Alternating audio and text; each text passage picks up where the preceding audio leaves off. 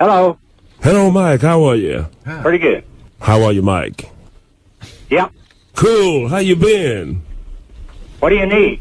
First of all, the Biaviians uh, have a saying, Qua amsa lajuan.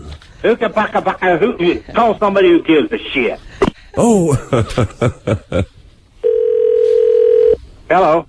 shout out to you, Mike. Who the fuck is this? This is Riley Martin. Get the fuck off my phone. Don't you remember us, friend Martin, from there, near the Tigris Euphrates in the I Nile don't River remember Valley? shit.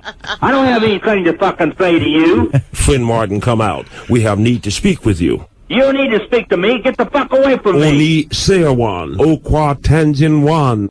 What? Actually, uh, the the uh, Fuck you, stupid. uh, vast vast uh, vastness of uh, uh, uh, uh, uh, uh, Friend you Martin. there, Mike? You got a question for me, big guy? God damn you. One more time. One more time, you goofy motherfucker, and I'm going to get the telephone company on your ass. Now hang this goddamn phone up, would you? Well, but thanks for the sentiment. Hey, fuck you.